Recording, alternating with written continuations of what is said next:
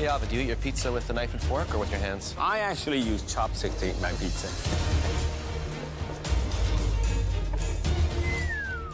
Cody, how you doing? Uh, feeling a bit of a time crunch. Where's your pizza? Hiding in the oven. I Hiding in the oven? I just topped it. What's on your pizza? Uh, blue cheese, uh, cream sauce. I did a little bit of reduced balsamic vinegar and sherry, shallots and thyme. Kind of perfume that sauce. A little bit of brie cheese on top, caramelized fennel. Right, good luck. Thank you, chef. Jennifer, Chef. how you doing? I'm excited for this one. It's time for me to redeem myself. Why do you feel you have to redeem yourself? I keep getting pulled off because they think I'm the weakest link. It's time for me to tell them, guess what?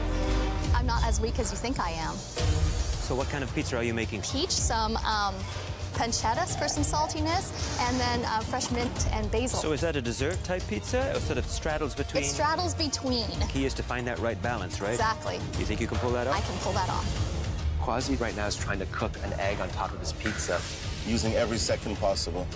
10, 9, 8, 7, 6, 5, 4, 3, 2, 1. Hands up! Smells like pizza in here.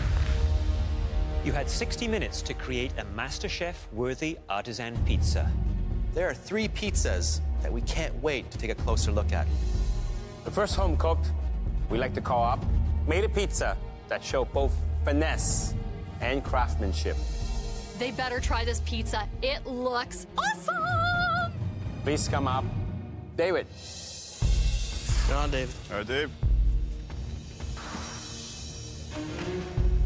I call it the fungi. It's got a portobello duxelle base, some matsutake mushrooms, chanterelle mushrooms, enoki mushrooms, and a uh, white balsamic dressed arugula.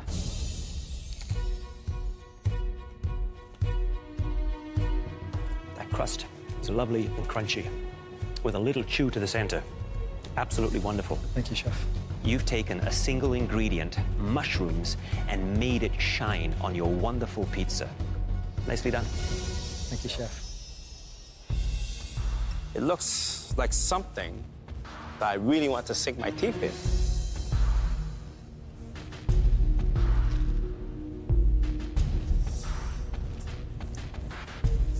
The arugula, perfectly flavored with a little bit of acidity from the balsamic, breaks into the richness of the cheese. I like it. Thank you, chef.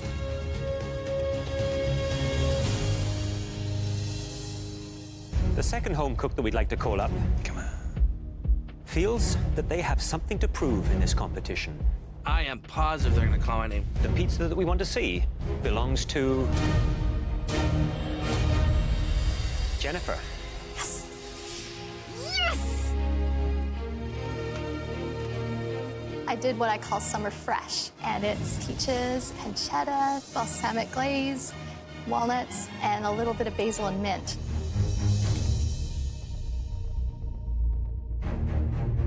The balance, the bacon, cheese, peach. Not only can you cook, you can cook with style.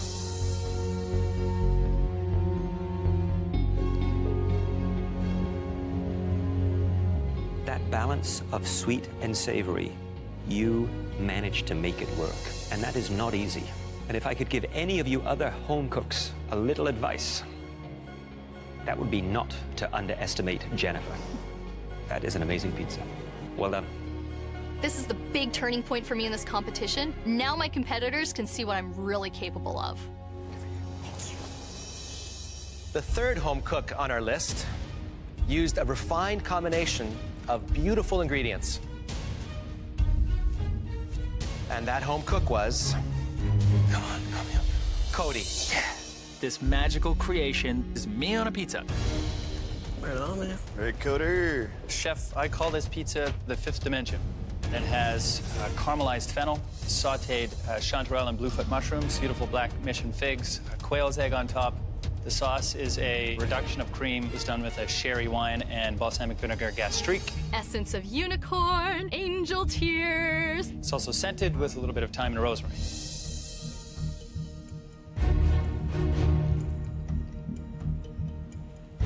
Your pizza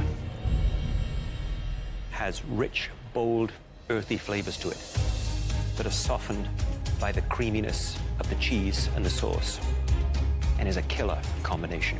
Thank you, Chef.